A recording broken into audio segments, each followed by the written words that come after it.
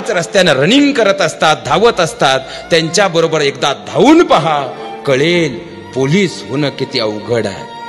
उद्या परीक्षेची तयारी करायची म्हणून आदल्या रात्रीच त्या ठिकाणी जाणारे आणि झोपायचं कुठं म्हणून मच्छरांमध्ये रात्रभर फुटपाथवर झोपून राहणारे अरे सकाळी उठल्यानंतर धावत धावत पळत सुटणारे आणि एवढा त्रास घेऊ नये. शेवटी एक मार्कानं गेल्यानंतर होणारं दुःख जाणून पाहावं.